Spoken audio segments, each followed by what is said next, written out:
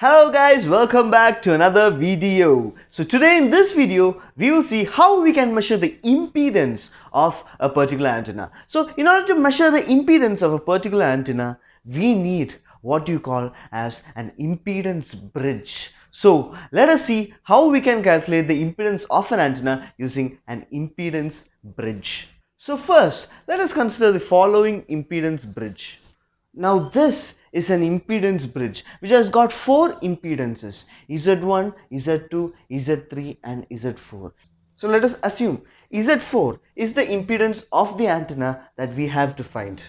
So let this be the test antenna. So if we know the value of Z1 and Z2 then if this particular impedance bridge is in the balanced condition then we can easily find Z4. So if Z1 and Z2 is a constant and we know and let Z3 be a variable resistance. So by changing the value of this Z3 we can see if there is a null detection here that is if a null detection happens here then that is the condition for a balanced impedance bridge. So first let this be connected to a particular source. So now when this bridge is connected to this source, some kind of a deflection is shown here in this particular null detector. Okay, so now what we do is we change the value of this Z3.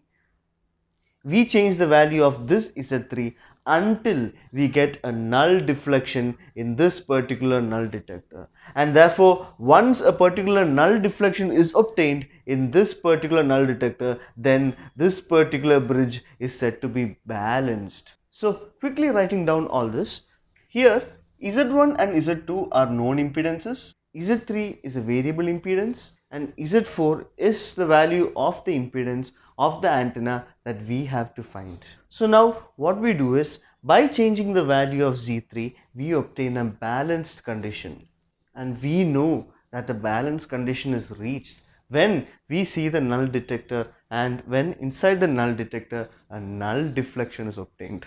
So now when this particular bridge is balanced we write the balanced condition. We all know when a particular bridge is balanced, the balanced condition is given as Z1 by Z4 is equal to Z2 by Z3. That is Z1 by Z4 is equal to Z2 by Z3 that is the balance condition. So therefore here the value of Z1 and Z2 is known and the value of Z3 is also known as we have adjusted this particular impedance and we have kept it at a particular point when this particular null deflection is obtained. So this Z3 the value of this Z3 is also known. So therefore what does this imply? This implies that the value of Z4 is equal to Z1 Z3 by Z2 Hence, like this, we can find the value of the impedance of a particular antenna by placing it inside this impedance bridge. So now, let us assume that the value of Z1, that is this particular known impedance, is of the form Z1 is equal to modulus of Z1 at an angle theta 1. Similarly then, Z2 will also be modulus of Z2 at an angle theta 2 and similarly Z3 will also be equal to the modulus value of Z3 at an angle theta 3 that is this is the magnitude and this is the angle.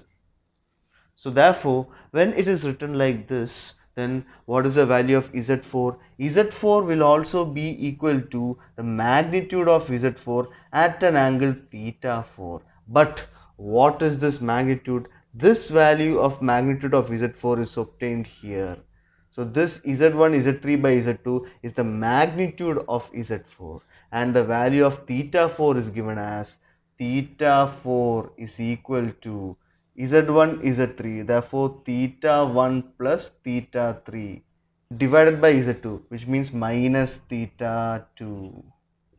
This thus gives the value of theta 4. This thus is how we can find the impedance of a particular antenna by using the impedance bridge. So I hope you guys now have a clear understanding as in how to find the impedance of a particular antenna. So this thus sums up module 2 of antenna wave propagation. So next we'll be starting with module 3 of antenna wave propagation. So stay tuned for the next set of videos. Thank you guys and peace out. Bye.